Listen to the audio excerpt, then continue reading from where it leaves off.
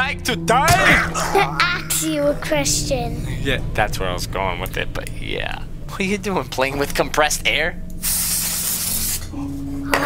Nothing. Your hair is totally not frostbitten.